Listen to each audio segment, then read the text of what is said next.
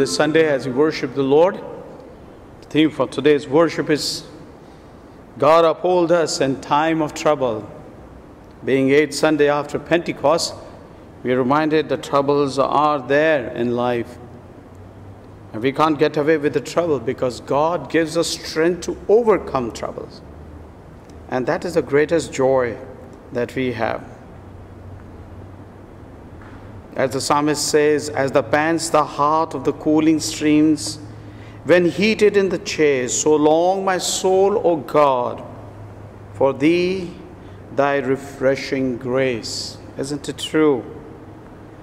I just cast down my, all my desire, all myself to the Lord Jesus today as we worship. The psalmist says, God is our hope and strength, a very present help in trouble. Therefore, we will not fear though the earth be moved. Yes, we are called not to move from fear, be remain firm, committed even during the COVID. We have lost many. A lot of hurts are there, a lot of losses are there, a lot of heartbreaks are there. We lost our very dear ones, far and near. But the Bible says, Do not fear. So, Lord, my soul thirsts for the Lord, yet even for the living God. So let's let's let's worship, rejoice as we worship the Lord today.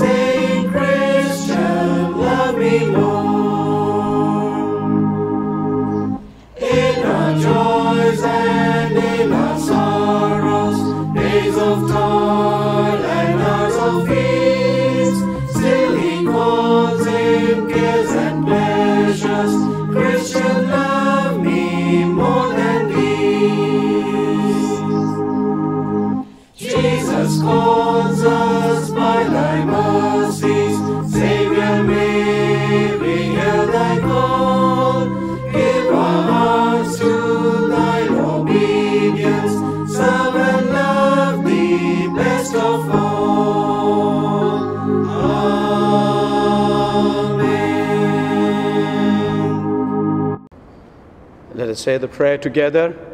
Almighty God, to whom all hearts are open, all desires known, and from whom no secrets are hid, cleanse the thoughts of our hearts by the inspiration of your Holy Spirit, that we may perfectly love you and worthily magnify your holy name.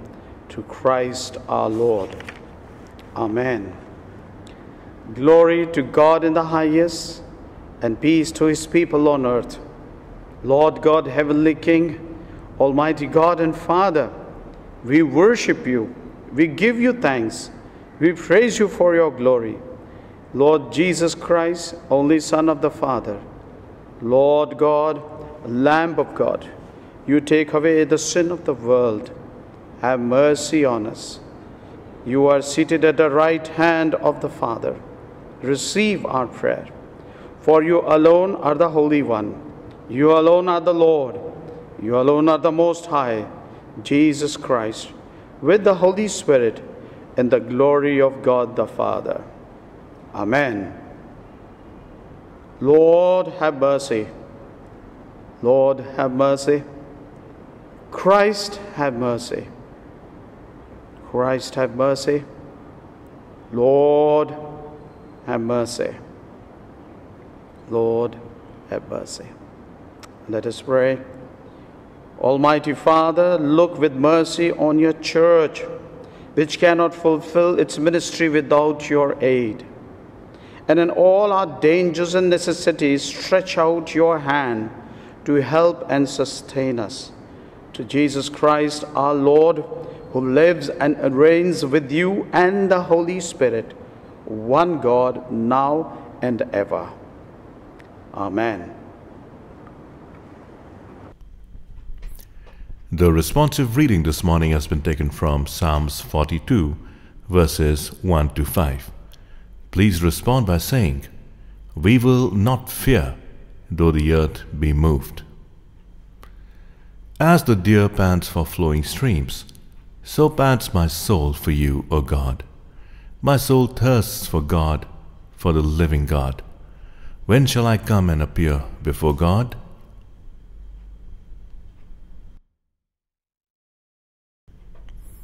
My tears have been my food day and night, while they say to me all the day long, Where is your God?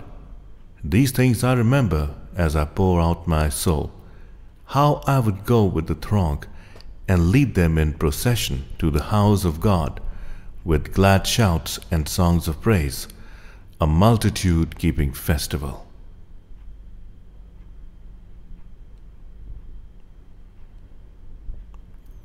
Why are you cast down, O my soul, and why are you in turmoil within me? Hope in God, for I shall again praise Him, my salvation.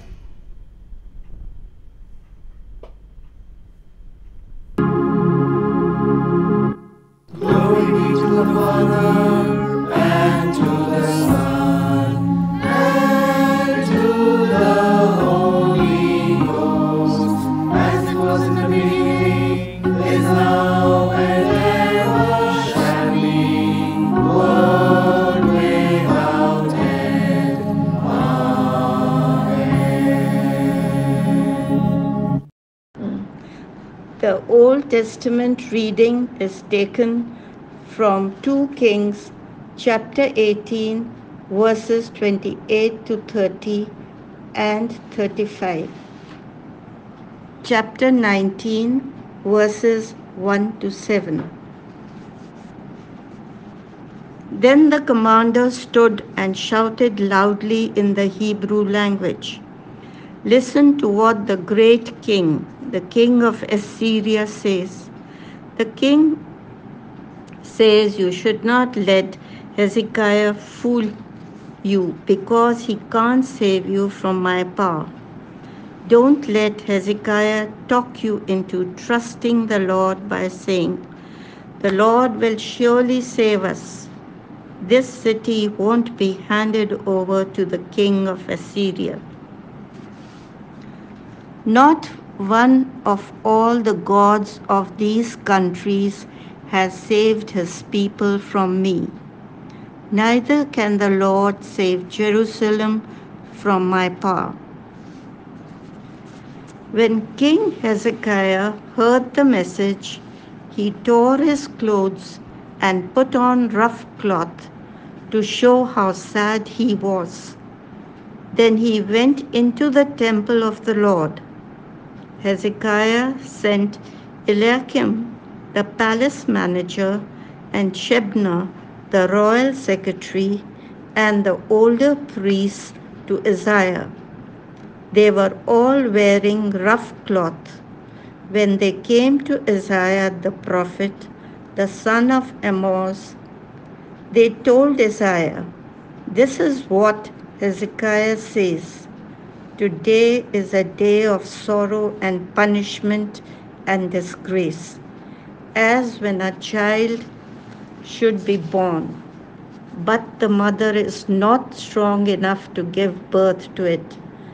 The king of Assyria sent his field commander to make fun of the living God. Maybe the Lord your God will hear what the commander said and will punish him for it. So pray for the few of us who are left alive. When Hezekiah's officers came to Isaiah, he said to them, Tell your master this the Lord says, Don't be afraid of what you have heard. Don't be frightened by the words of the servants of the king of Assyria have spoken against me. Listen, I am going to put a spirit in the king of Assyria. He will hear a report that will make him return to his own country, and I will cause him to die by the sword there. Here ends the reading of the Holy Word. Thanks be to God.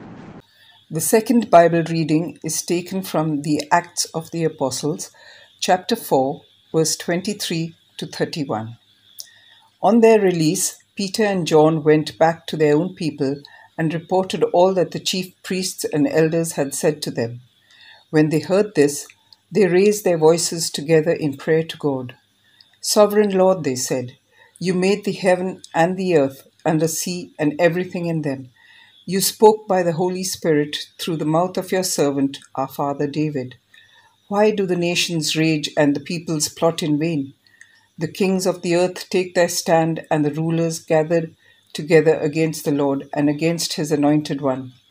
Indeed, Herod and Pontius Pilate met together with the Gentiles and the people of Israel in the city to conspire against your holy servant Jesus, whom you anointed. They did what your power and will had decided beforehand should happen. Now, Lord, consider their threats and enable your servants to speak your word with great boldness. Stretch out your hand to heal and perform miraculous signs and wonders through the name of your holy servant Jesus. After they prayed, the place where they were meeting was shaken and they were all filled with the Holy Spirit and spoke the word of God boldly. This is the reading of the word. Thanks be to God. Amen.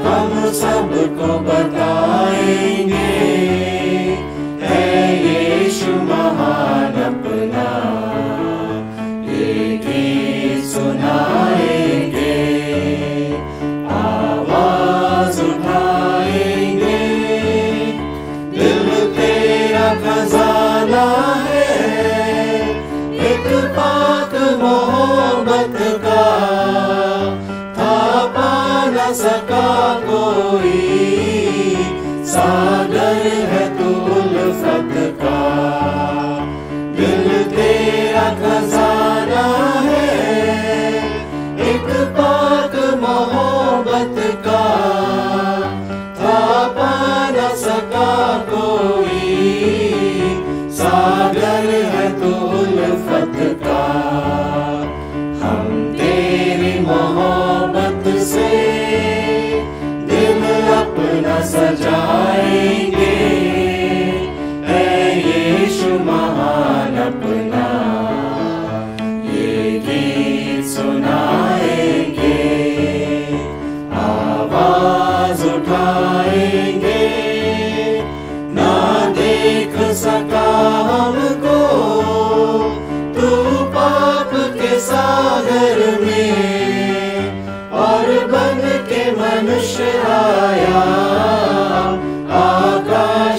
son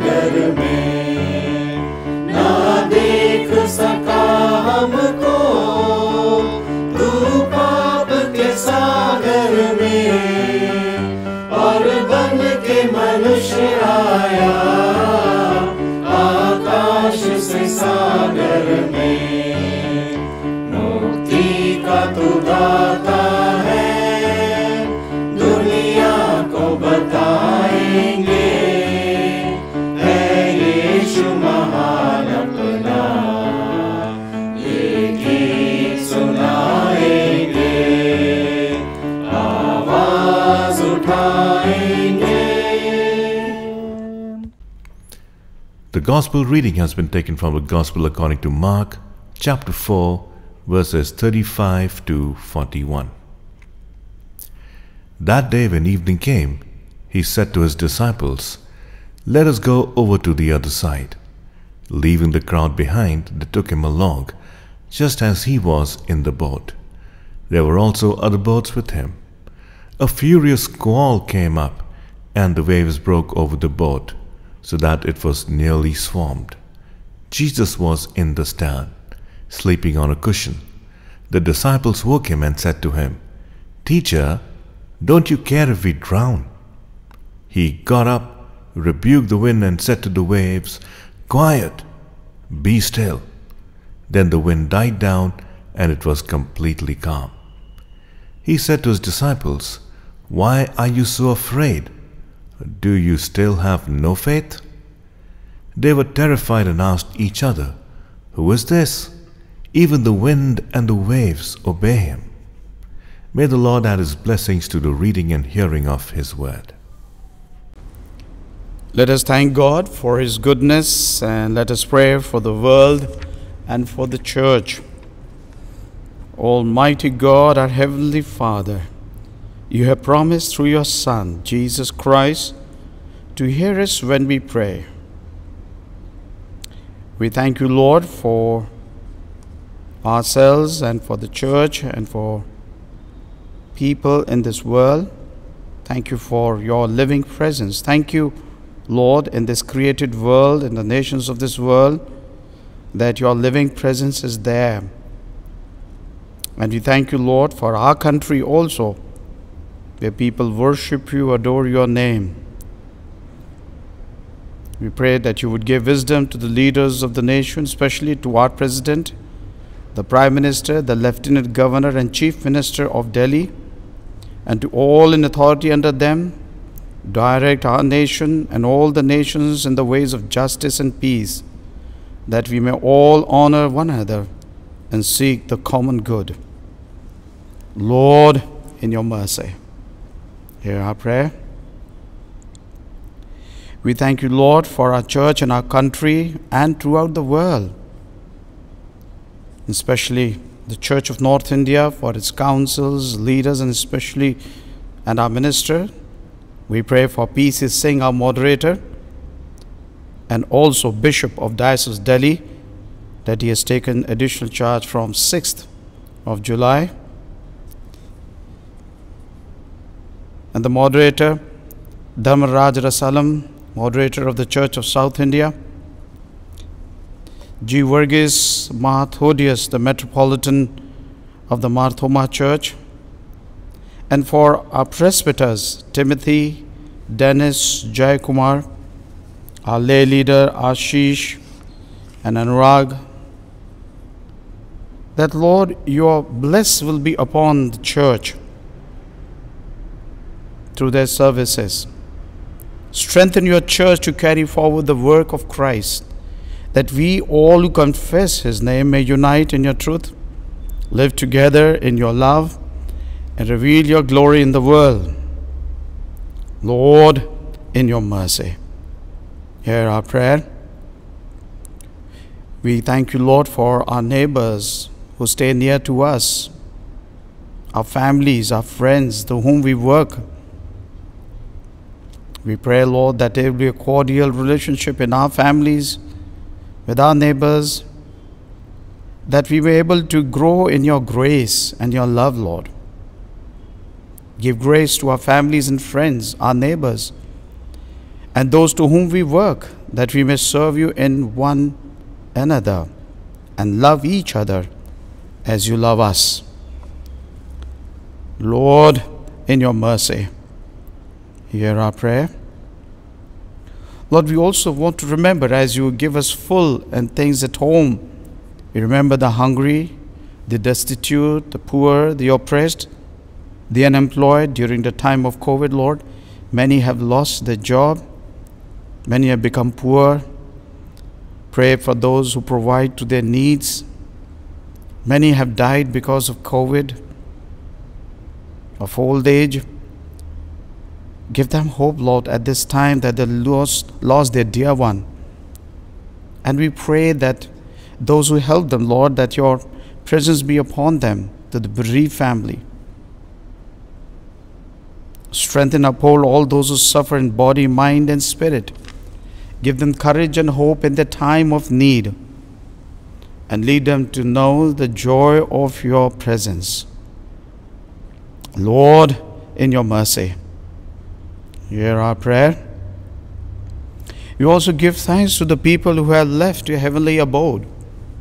And during time of COVID, many from our church, from families, and at large over the nations, many have left.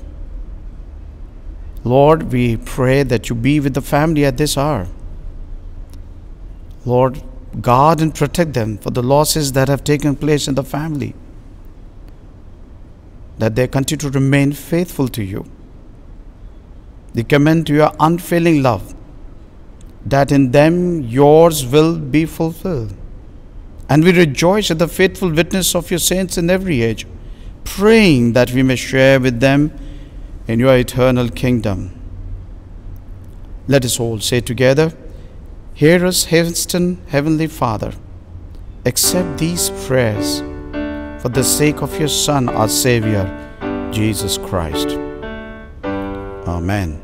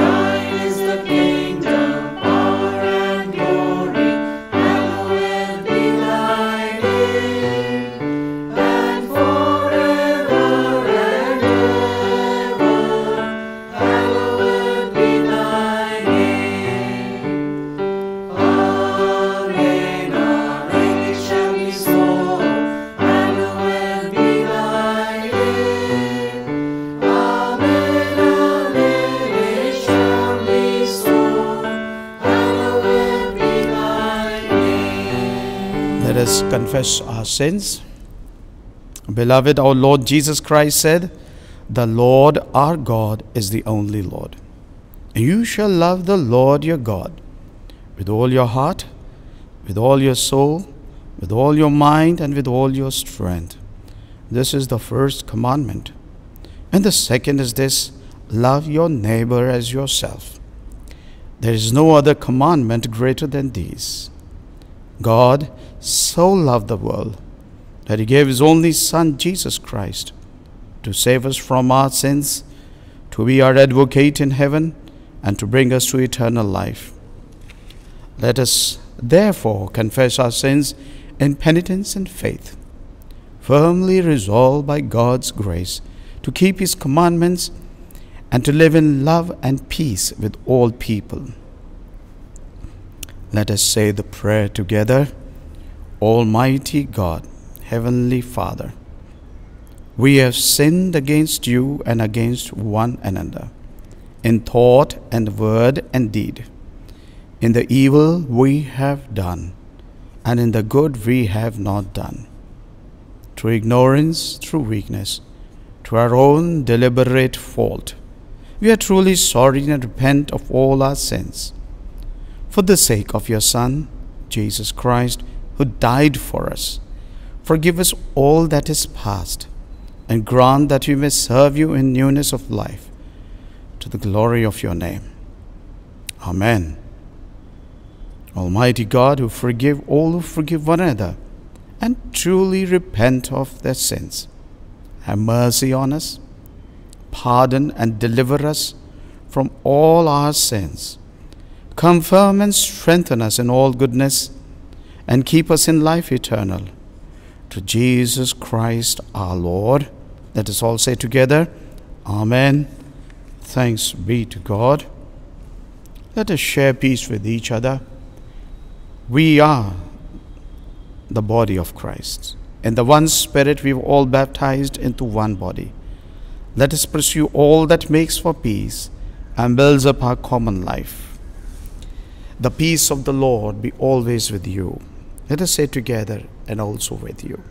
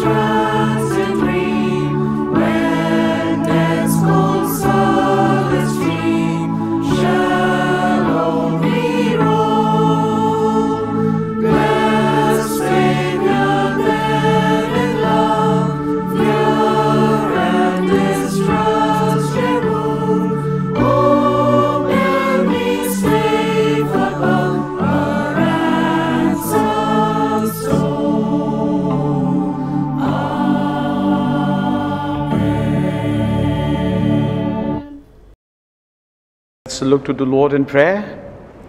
Lord, dear Heavenly Father, we want to thank you for this Sunday as we worship you, adore your name. And we believe during the time of COVID, so much of trouble, so much of sickness. It looks like unending, Lord.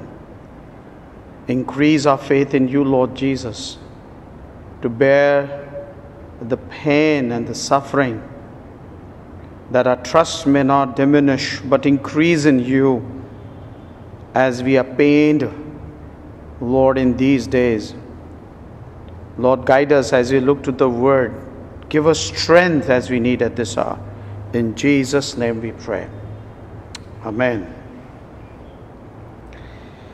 You know, there is a book titled When Bad Things Happen to Good People by Harold Kushner, who raised this question in his book. And somebody asked, you know, why do bad things happen to good people? And the classic answer to that is, I haven't met any good people yet, so I don't know. You know, times where troubles become so severe, we fail to see good things happening around. We are so engrossed in trouble that all God is doing and goodness of the God doesn't seem to be, you know, appearing. But Bible always encourages us in this. At times when we are in troubles and suffering with pain, something which is there, which is not very satisfying to us. Bible always come at the time. But times we've forgotten and sort of we don't care. When we feel that everything is against us, the Bible tells us, In you, O Lord, I put my trust.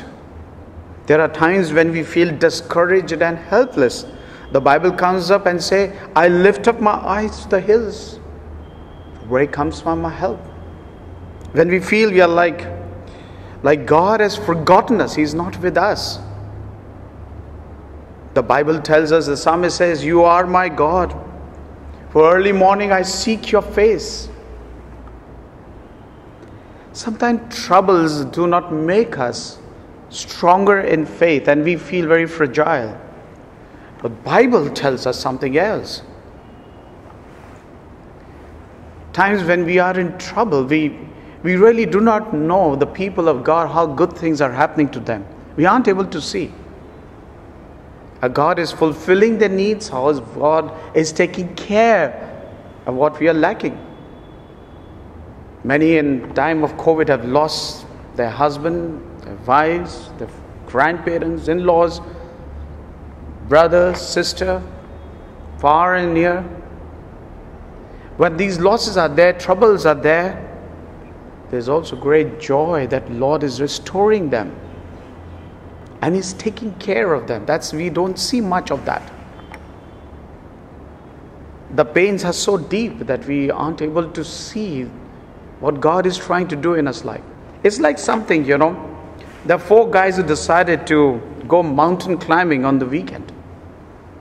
In the middle of the climb, one fellow slipped over a cliff and dropped about 50 feet and landed on a crash on the rack below. The other three, hoping to rescue him, yelled, Joe, hey Joey, are you okay? The other three, hoping to rescue him, yelled, Joey, are you okay? Yeah, I'm alive here.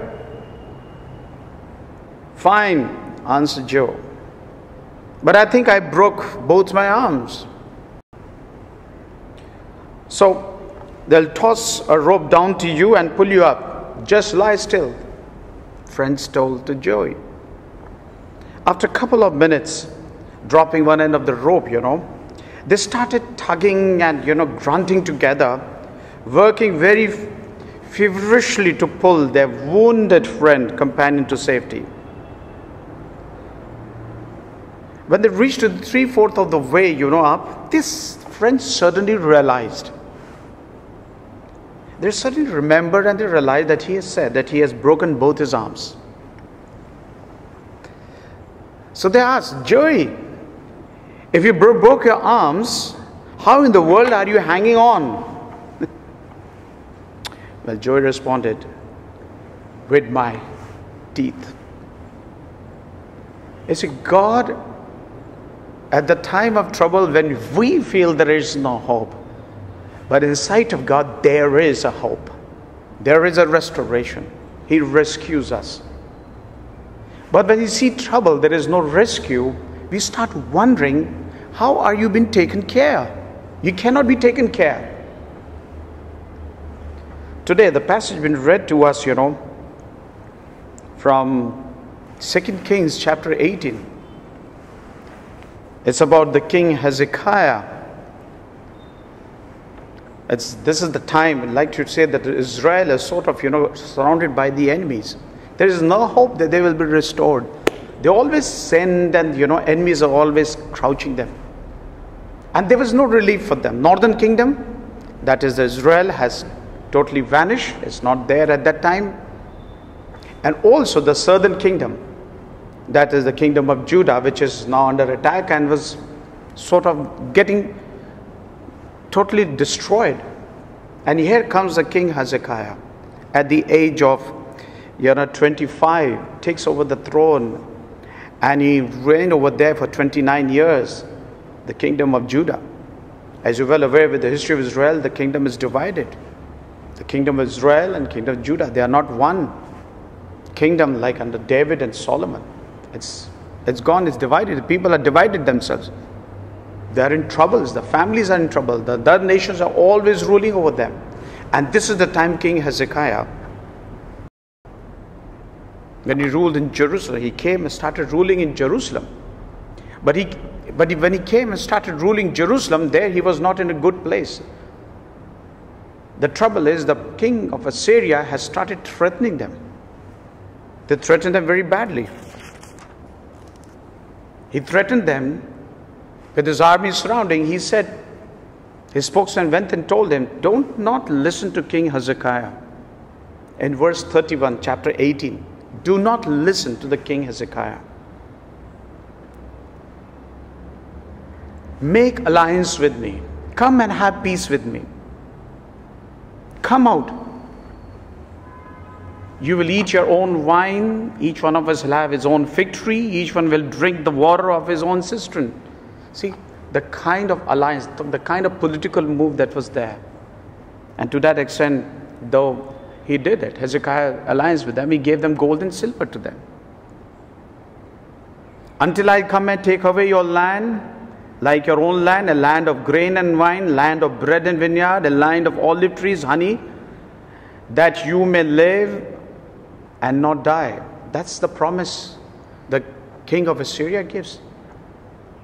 Alliance with a lot of joy, a lot of happenings, a lot of peace, a lot of restoration, but the whole condition is that don't listen to the king Hezekiah because the king Assyria is going to destroy you. He has destroyed the nations around you, gods he has destroyed. Don't you know? He, he, he reminds people of Israel, don't you know that I have gods of nation been delivered out of the hands of their kings and are given to the king of Assyria? Don't you know that? Now he's threatening not only to people who say he's threatening other nations that have taken over them, their gods and their all the goods. You cannot be spared. Have they delivered Samaria out of your hand? Now, now where the Samaritans were, a lot of Jews, a lot of people used to stay, but they but they were not faithful to the Lord Yahweh. So Assyria came and destroyed them. They were not with the with the people of Israel. They were taken over by a king of Assyria. So they were delivered them out of their hands and given into the hands of Assyria. Don't you know that? Now, at that time, you know, it's very important to understand God, when trouble comes, people forget God. They forget the plan. They forget the covenant relationship. They forget the very commandment. They forget for which they were created as a nation. They've forgotten everything and eventually, what has led to them is to think that let's promises what King of Assyria is going, let's follow it. You know, when you forget God, whatever things available around us, we start following it. So the text teaches us a very important thing. It teaches us that people were told to be silent and not to respond to the king of Assyria. Just remain quiet in verse 36. But when come to chapter 19, when when King Hezekiah reaches out to Prophet Isaiah, he was there at that time, and he asked him what to do. And then the prophet Isaiah said in chapter 19, verse 6, he comes into the picture and he sort of tells the right thing. Now they turned to God, but they went to prophet Isaiah to what to do. Because here, King Hezekiah has covered his face and tore his clothes with sackcloth he's on and he's gone, and he's just sitting in the house of the Lord, like mourning. I'm defeated, I'm gone, I'm nothing. The troubles are on my head, the land will go, people will be slaves again. And then Prophet Isaiah gave an assurance in the midst of the trouble, trial, and strife, and pain, and threats. Do not be afraid, Prophet Isaiah said in chapter 19, verse 6, because the word that you have heard with the servant King Assyria has revealed, has sort of, you know, make me angry, revile me. Behold, I'll put a spirit in him that he will hear a human return to his own land, and I make him fall by the sword of his own land. And it literally that happened. If we come to the verse 34, that he saved his nation. Isaiah prophesied, I will save your nation. And then you come down to last word in verse 37 that with the sword of his son, Assyria king was tortured to death, but killed by his own family. They were not only confused with their army, with each other, but they were tortured to death. Now, how God is handling trouble over here, the passage teaches us something very important. He gives us a prophecy which always comes to fulfillment, and Isaiah says the prophecy in verse 20 onwards, chapter 19, the whole prayer. He reminds them he remind how what he's done to the enemies in the Egypt. And he will remind them, Have you not heard that I determined uh, long ago that I planned my days of old what I have now bring to pass that you shall turn fortified city into heap of ruins? He remind them, you're going to make such things. These cities and all these fortified fortresses that are made, they will be destroyed. But I know you're sitting down, you're going out and coming in, you're ragging against me because you have raged against me, your, your complexes have come into my ears. People have forgotten God. So before He restores, He tells the sins of the people what they have done. How complicit they have become, making with other nation alliance and sitting down with them. And when they come and started destroying, we find difficult to do. They find it difficult to handle. His Bible teaches, you know, that we should be very careful when trouble comes. We should not go in and compromise our commitment to Lord, the way that we live. The end of the passage that we read to us from um, from Mark Gospel, that is where you know Jesus was stilling the storm in chapter four, but the verse forty, the people were just were going to drown and were there before the sea could be calm and they and jesus when calmed the sea uh, he raised the question why are you afraid? Have you still no faith? Seeing the miracles happening seeing what god has done before them before chapter 5 4 how god has been healing them restoring them. There was a man with a withered hand he restored them. He they saw it they, he taught them the parables of the seed, the parable under the lamp of the basket, the mustard seed that we saw it last time. He said, You've seen these things happening. The parable of a sower. All these things have been taught, but yet you don't have faith. You know, that's the question comes today. Do we still have that living faith in Lord Jesus Christ? What does God promise to his people? Relief? Are we expecting today relief from all troubles? So that we can go to the next world the Lord has planned to go? No. But that's what we think. People who are faithful, they've seen the deliverance from the hand of trouble and pain and sicknesses. People have seen times when there is a financial crisis that they have been delivered out of them. The manner of troubles that they had in the family with the children and the married life, God had delivered them time to time. They have taken them out. Are we looking that options in our life? Are we looking that bloods that are shed in the war, the nations are destroyed? Are we looking that to happen to relief out of trouble? To such people, you know, when the time, you know, trouble comes, when the comfort is there, when we are at ease, we forget God. When the worst time suddenly comes, you know, that if we ask from God to help us, but sometimes doesn't come a help. But sometimes it comes that Lord wants us to pray for. Lean on me and you will survive and thrive. Bible tells always when we face devastation, the conditions of life tells us the problems, which is inevitable. Even when there are no clean paths, solutions, answers from God, we are not without support of God. That's what the passage is all about. That's what Lord wants to teach us. Though people may murmur, aren't you going to help us? The people will murmur, look, these enemies are around us. Then why did you start having a complacent life? Why did you left the covenant pledges? Why have you gone and lived with other nation with idols?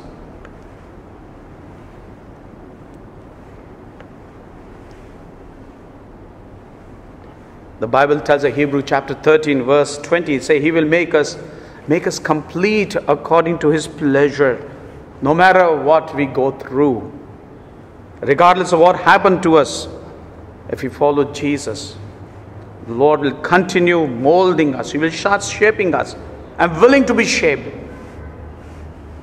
That's we're willing to do the work that pleases him rather than us. Make God our refuge. Dwell in Him, He will keep us, He will not forsake us. If we trust God, making a hiding place, He will make sure to protect us. Peter started preaching in Acts chapter 4. And they said, This is one whom you crucified. He takes the history of Israel down through the lane and tell them, this is the one whom you crucified, who's resurrected from the dead. You know, he was bold enough to speak in front of the people who crucified Jesus. No matter how much trouble may come him, though he was put into prison, he and John, they came out rejoicingly because they couldn't stop him because they were preaching boldly, even in midst of troubles and pain and the threat to their lives. God always rescues his people in trouble when your people remember the Lord, when they follow rightly the path. You know, that's the message today. Troubles are not a problem today, but the troubles are a problem when we forget God. Troubles are not obstacle today, but troubles are obstacle today when we start living a complacent life Troubles are problem today when you don't want to face trouble. And when we face trouble without God, there are troubles, there are pains. But we take Lord Jesus with us, the troubles will vanish. They will not appear before us. Today, the church has to face this. It has to face this part of the history. Again, the troubles have come in. Again, people of God have been challenged. But here we are in the sight of God. Are we going to run away by seeing the trouble, or are we going to stand strong against all storms? Let's face it. Let's face the trouble. Let's face the crisis. Let's face all the Lord has laid it for us. I want to end through one poem written by Linda Sandell a wonderful called Day by Day. You know, the pain and toil and troubles are there day by day. But what she says, she says like this Day by day, with each passing moment, strength I find to meet my trials here. Trusting in my Father's wise bestowment, I have no cause of worry or of fear. He whose heart is kind beyond all measure, give unto each day what he deems best. Lovingly, it, it's part of pain and pleasure, mingling toil with peace and rest. Isn't it lovely? Trials give us strength. Trials make us overcome worry and fear. Trials which makes us pain. Bear pain lovingly. And always, no matter how much is the toiling going on, so much suffering and trouble going, but my heart rests upon peace. And I rest in peace. May God bless us at this hour of trial, the time of trouble during COVID. Don't lose hope. Don't lose the sight of Christ coming. Don't, hope, don't lose hope of the promises. Stick on, hang on, and keep pressing on. Keep pressing on. Keep pressing on your faith, though hard the trouble may be. And Lord will make it overcome. And let more trouble comes, and Lord will make it more powerfully overcome, more powerfully upon us. Stand strong in Lord Jesus Christ. No matter what may happens. Let's pray. Lord, your word is sharper than the two-edged sword. No matter battle which is waged against your church, against your people, against the humanity, Lord, you are there to lead that battle to victory. Because the Bible gives us victory. There is no defeat, there is victory. And victory in Jesus, Lord, doesn't dismay us, doesn't make us weak, doesn't make us feeble, no matter what may be the cause. Lord is there. Lord Jesus is there to take care of us. In Jesus' name we pray. Amen. Let us all affirm our faith and say together We believe in one God, the Father, the Almighty, maker of heaven and earth.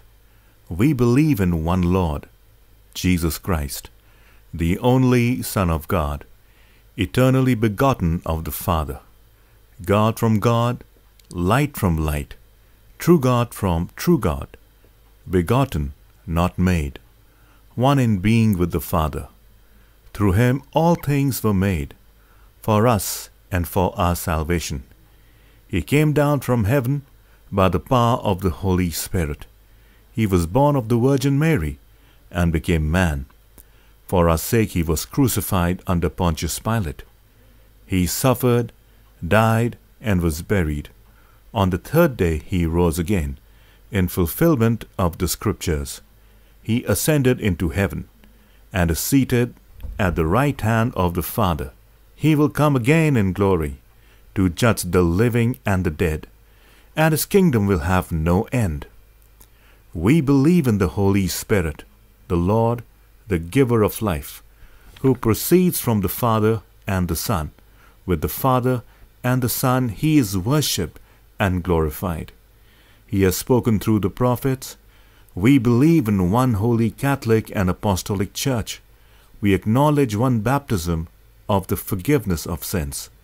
We look for the resurrection of the dead and the life of the world to come. Amen. Praise God from whom